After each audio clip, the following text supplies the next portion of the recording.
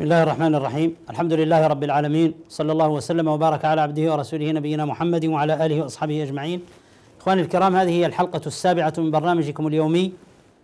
لعلكم تتفكرون. حديثنا في هذه الحلقة عن الاستفهام في القرآن. أيها الأحبة أصل الاستفهام أن السائل يبحث عن معلومة. أن السائل يجهل معلومة يريد أن يخبره بها المسؤول. وهذا المعنى ليس في كتاب الله عز وجل.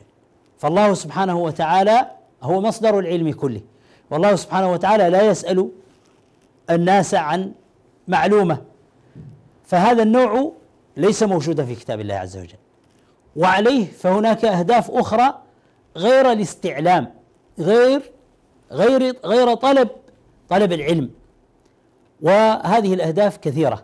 تكلم عنها البلاغيون وتكلم عنها علماء القرآن كثيرا وما آه، زال آه، علماء الإسلام ما زال خدمة كتاب الله عز وجل ينحتون معانيه ويكتبون فيه ومع كل ذلك يبقى كتاب الله عز وجل ذرا لا يخلق عن كثرة الرد. يبقى مع, مع منبعا منجما لا يمكن الوفاء بحقه من البحث ومن التأمل ومن الدراسة ومن التأليف ومن الكتابة. ما زال موضوع الاستفهام في كتاب الله عز وجل موضوعا جليلا وعظيما وكتب فيه الكثير وما زال يحتاج إلى كثير من التأمل. للاستفهام أغراض كثيرة. منه ما يسمونه الاستفهام التقريري. ومعنى الاستفهام التقريري أن المقصود بالاستفهام أن يقر المخاطب بالمسألة التي ورد عليها الاستفهام. هل أتى على الإنسان حين من الدهر لم يكن شيئا مذكورا؟ نعم أتى على الإنسان حين من الدهر لم يكن شيئا مذكورا. والإنسان هنا لابد أن يقر بهذه المعلومة. يقول الله عز وجل لنبيه محمد صلى الله عليه وسلم ألم يجدك يتيما فآوى ووجدك ضالا فهدى ووجدك عائلا فأغنى؟ بلى النبي صلى الله عليه وسلم يقر بأنه كان هكذا قبل أن ينزل عليه الوحي وقد هداه الله عز وجل وآواه وأغناه. آه الا آه هل أتاك حديث الغاشية؟ يقر النبي صلى الله عليه وسلم بأنه أتاه كما كان صلى الله عليه وسلم ليلة في شوارع المدينة المنورة فسمع امرأة تقرأ هل أتاك حديث الغاشية؟ فقال نعم أتاني نعم أتاني.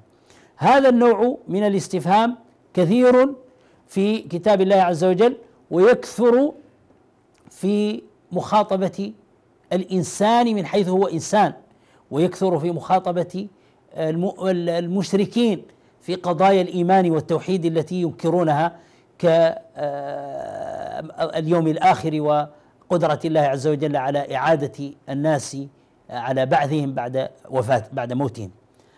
هذا النوع كثير.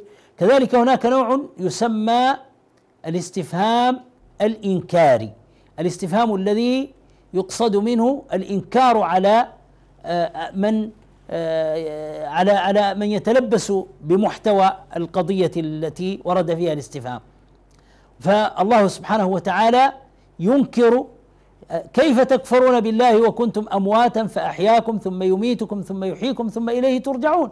فالله سبحانه وتعالى ينكر على هؤلاء كفرهم بالله وهو سبحانه وتعالى هو الذي خلقهم من عدم وأحياهم واماتهم جعلهم كانوا أمواتا فأحياهم إلى آخر آه، الظروف التي مروا بها والتي سيمرون بها والمراحل التي خلقوا عليها. هناك الاستفهام بمعنى النفي ومن أظلم ممن افترى على الله كذبا آه هذا بمعنى لا أحد أظلم ممن افترى على الله كذبا. ومن أصدق من الله قيلا أي لا أحد أصدق من الله قيلا. هناك استفهام بمعنى التعظيم والتفخيم. القارعة ما القارعة وما أدراك ما القارعة. الحاقة ما الحاقة وما أدراك ما الحاقة. هذا استفهام بمعنى التفخيم وبمعنى تعظيم القضية حتى تعطى مزيد عناية وحتى ينتبه لها المخاطب ويعرف حقيقتها وأمرها وأهميتها. هناك استفهام آه، بمعنى الاستبطاء. ألم يأن للذين آمنوا أن تخشع قلوبهم لذكر الله وما نزل من الحق ولا يكونوا كالذين أوتوا الكتاب من قبل فطال عليهم الأمد فقست قلوبهم وكثير منهم فاسقون. استبطاء لأن تخشع قلوبهم لذكر الله. آه، الاستفهام له أكثر من أكثر حوالي ثلاثين نوعا. عدها علماء آه، علوم القرآن والمفسرون والبلاغيون لأنواع الاستفهام.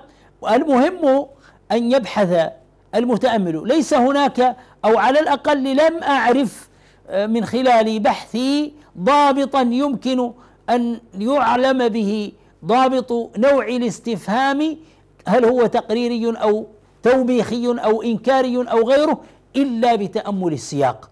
ولكن المؤمن القارئ للقرآن المستهدي به المقبل على الله عز وجل آه، مريدا آه، هدايته ومريدا أن يذيقه حلاوة هذا الكتاب العزيز لا بد أن يكتشف بإذن الله عز وجل نوع الاستفهام ويعرف المراد منه بالتأمل وبالممارسة. ولأن القرآن كما قال الله عز وجل كتابا متشابها مثاني لأن القرآن يعين بعضه على بعض فإذا قرأ الإنسان وتأمل واكتشف أنواعا من هذا الاستفهام فإنه كلما زادت قراءته وتأمله في القرآن اكتشف أنواعا أخرى وزاد آه، آه، تكررت له تلك الأنواع التي عرفها من خلال تأمله الأول ومن خلال المواضيع التي تكلم عنها التي عرفها من خلال تأمله الأول. آه، أيها المشاهدون الكرام قضية الاستفهام في كتاب الله عز وجل فائدتها وثمرتها أننا نعرف أن الله سبحانه وتعالى يخاطبنا بهذا القرآن لا آه، على أسلوب واحد. فإن أساليبه تتعدد بحسب تعدد الأساليب العربية فهو كتاب عربي كما قال الله عز وجل إنا أنزلناه قرآنا عربيا لعلكم تعقلون والأساليب أحيانا تتعدد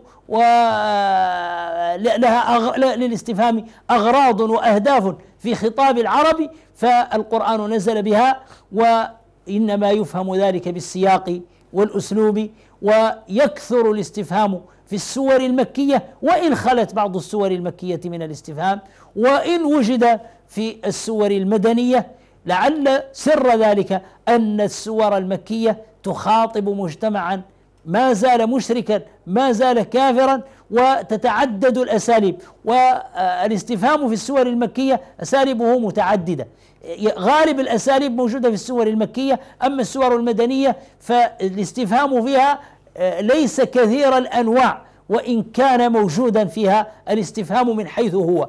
فتأمل هذه القضية وتدبرها معين على فهم كتاب الله عز وجل لأنه يفهم به الإنسان آه، تفسير الآيات ويفهم به معانيها إذا عرف نوع الاستفهام والغرض منه في خطاب الله عز وجل في هذا الموضوع في هذا الموضع دون هذا. ولا يرجع الأمر إلى أداة من أدوات الاستفهام ولا إلى آه، أسلوب من أساليبه بقدر ما يرجع إلى السياق والتأمل يكشف ذلك ويعرفه وعندها يعرف الإنسان مراد الله عز وجل بهذا الاستفهام ويعينه ذلك على فهم كتاب الله عز وجل. أسأل الله بأسمائه الحسنى وصفاته العلى أن يفهمنا كتابه وأن يكشف عنا أغطية الجهل والمعصية وأن يجعلنا هداة مهتدين وصلى الله على نبينا محمد وعلى آله وصحبه أجمعين.